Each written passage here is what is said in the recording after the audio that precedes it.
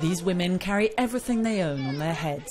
As they arrive in this displaced persons camp in Bentiu in the north of the country, they speak of burnt out villages, killings, looting, and rape. The camp is under United Nations protection, but even then, it is no safe haven for the thousands of refugees as the fighting continues right outside. The violence related cases we received uh, were mainly those who got the injuries while they were in the village.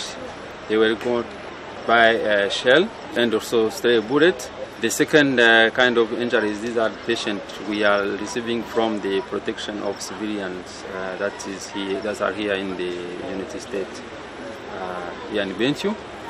Uh, they got injuries from stray bullet, uh, where even they are still in the two calls within the protection of civilians.